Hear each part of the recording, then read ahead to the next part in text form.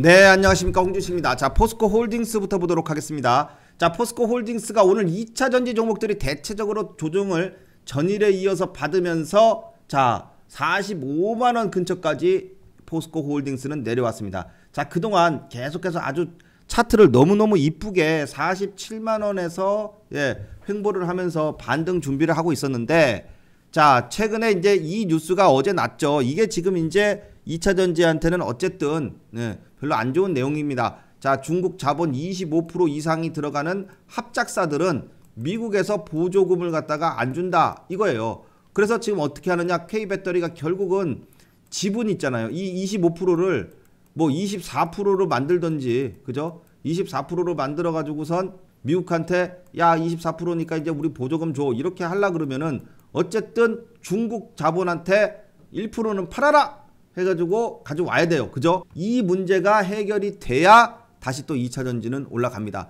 그러면은 어때요? 이렇게 된다 그러면은 시간이 좀 필요하죠? 그 시간 동안에는 주가가 어떻게 되겠어요? 조정이 나와요. 그 시간 동안에는. 조정이 나오는데 어디까지 조정이 나오냐? 그 반등 자리가 되면은 반등이 나오는 것은 기술적 분석 때문에 반등이 나오는 것도 있지만 그것보다도 이 가격대라는 게 그죠? 주가가 이 가격이요. 주식의 가격이 주식의 가격이 결국 표시되어 있는 그림으로 나타나는 게 이게 뭐예요? 차트예요. 차트가 결국은 오늘의 저점, 고점, 하루 종일 움직인 것을 다 요렇게 빨갛고 파랗고 어, 뭐 노랗고 요렇게 예, 도식화해 가지고선 나타낸 게 결국 차트단 말이에요.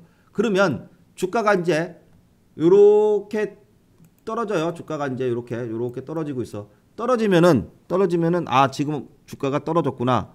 주가가 45만 원이구나. 근데 아직까지는 좀 더 떨어져. 더 떨어질 수 있어. 자, 더 떨어지게 되면은 그러면 어떻게 돼요? 많이 떨어졌잖아요. 누가 보더라도 싸. 와, 이렇게 주가가 싸네? 그러면 어떻게 되겠어요? 반등이 나와요.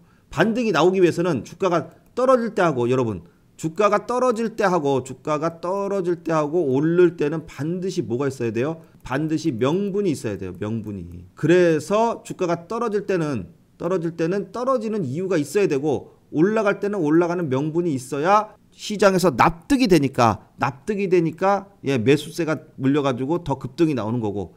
떨어질 때도 떨어질 때도 야 이건 진짜 별로 안 좋네. 그러니까 또 떨어져야 되는 거예요.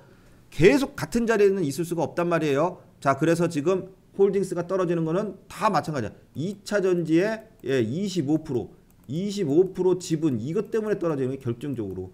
이게 이제 해결이 돼야 된다고요 그 해결을 갖다가 하겠어요 얘네가 안 하겠어요 당연히 하겠죠 예, 안 하겠습니까? 포스코에서. 예, 우리나라 2차 전지가 정말 전 세계적인 기업들인데 예, 그 이걸 갖다 해결을 못 하면은 큰일 나게 생겼는데 하죠. 자, 그래서 그 할 동안에는 주가가 조금 조정을 받다가 희한하게 희한하게 여기 선에 딱 왔다. 그러면 가격이 많이 떨어졌잖아요. 많이 떨어지면 그 다음엔 어떻게 돼요? 누가 사도 사요. 아까 말씀드렸듯이 올릴 때 어떤 명분으로 올리겠어요? 야 이제 그 중국의 25% 가져갔던 거 그거 해결이 되겠다. 뭐 나라에서 지원을 해준다. 아니면은 지금 협상이 잘 이루어져서 이미 구두른 계약이 24%로 합의하기로 됐다. 뭐래도 나와요. 예, 뭐가 됐든 뭐가 됐든 나옵니다. 그러면은 주가는 그다음부터 또 슝 하고 올라서 막 이런 식으로 이때부터 막 올라가는 거예요. 결국 결국은요 지금 이 포스코 홀딩스는 어디서 반등이 나왔습니까? 이 그림을 전체적으로 딱 보면 봐요. 지난번에도 뚝 떨어지다가 여기 요 파란색 요 파란색 선이 여기 이름이 뭐냐면 일봉 매수 타점입니다. 일봉 매수 타점. 그래서 일봉 매수 타점에 닿으니까 반등이 20%쫙 나오고 또 여기 오니까 또 나와. 그 다음에 또 이렇게 쭉 해서 타고 내려오다가 결국은 여기서 또 반등 나와. 자 마지막에 여기서 지금 또 한번 오면은 일봉 매수 타점에서 반등을 또 기대할 수 있고 그 사이에 그 사이에 지금 뭐가 내려오고 있냐면은 요렇게 60일선이 내려오고 있어요. 요렇게. 그죠? 이 60일선하고 그 다음에 21선이 지금 또 요렇게 타고서 요렇게 올라가고 있죠. 근데 21선을 지금 깼어요. 깼기 때문에 일봉 매수 타점에서의 반등 시에는 딱 찍고 반등이 나오면서 어떻게 되겠어요? 21선 위로 복귀가 되겠죠. 복귀를 하면서 61선까지 골든 크로스가 나온다 이거예요. 자, 다시 정리를 하자면 여러분들은 그러면 여기서는 어떤 걸 먼저 해야 되겠어요? 요 파란색 선부터 설치를 해놓고 보시면 됩니다. 자, 그래서 요거를 일봉 매수 타점이라고 부르고요. 요 일봉 매수 타점은 초보자도 정말 초보자도 쉽게 만들 수 있어요. 예. 또 모바일 모바일하고 그 다음에 PC하고 다 돼요. 다 돼. 자, 그래서 이것을 어떻게 받느냐? 자, 여기 연락처 있어요. 요 아래 연락처. 여기 요 연락처에다가 포스코, 포스코 홀딩스, 포스코 퓨처엠의 또 멋진 반등을 기대하는 마음을 담아서 포스코라고만 딱 써가지고선 보내주시면 일단 일단은 요 일봉 매수 타점부터 여러분들이 예, 설정을 해 놓고 그 다음에 예, 차트를 보시면 훨씬 더 차트를 잘 볼 수 있다. 요렇게 보실 수 있습니다. 자, 특히 초보자요. 제발 초보자분들은 일봉 매수 타점이요. 포스코라 이 일봉 매수 타점이요. 포스코뿐만 아니라요. 다른 종목들 있죠. 다른 급등주들도 다 대입해 보세요. 다 맞아요. 네. 그래서 요 일봉 매수 타점은 꼭 설치를 해놓고 보시라고 요것을 열심히 보내드리고 있습니다. 홀딩스요. 자 지금 내려간다고 불안해 떨게 아니라 요게 또 내려가면 여기서는 또 반등의 포인트가 돼서 올라온다. 그러면은 난 여기서 지금 반등을 기다리겠다. 자 이렇게 생각을 하는 것이 더 현명한 생각이고 그리고 나서 여기서 올라왔을 때의 21선 요 21선을 예 다시 한번 복귀되는 거 이게 더 중요한 겁니다. 21선을 딱 복귀를 하게 되면은 그 다음에는 어떻게 되냐면요. 초록색 선 요거 요거 요거 뭐예요? 요 61선이요. 61선이 점점 점점 점 내려가지고 21선하고 뭐가 나오냐면은 21선, 61선 골든 크로스가 나온단 말이에요. 골든 크로스. 예. 그래서 골든 크로스가 나오면 추세가 완전히 전환됩니다. 예. 자, 이번 것만 해결이 되면 예. 2차 전지는 웬만하면은 이제 악재가 없습니다.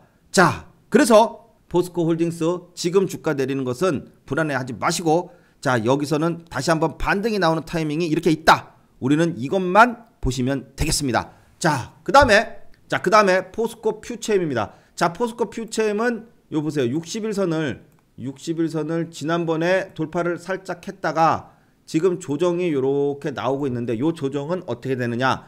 조정이 지난번에도 요 봐요. 급등을 딱 했죠. 급등을 딱 한 다음에 한 다음에 어떻게 됐어요? 요렇게 조정이 나왔죠. 왜 조정이 나와요? 요 갭, 갭을 채우러 갭이 떴잖아요. 요 갭 채우러 싹 내려와요.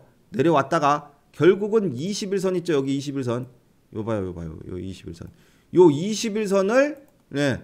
싹 다시 복귀를 딱 요렇게 21선 위로 합니다. 그리고 나서는 어떻게 해요? 21선 안 깨고 계속 올라가죠. 자, 올라갔으니까 61선도 돌파했으니까 61선 밑으로 내려오는 것은 당연해요. 왜냐면 21선 지지하러 가야 되니까.